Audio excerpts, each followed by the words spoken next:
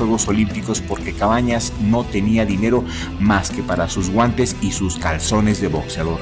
Te invito a que veas la historia de Francisco Cabañas, el primer medallista olímpico para México y te voy a dejar ese video en la pantalla final y en las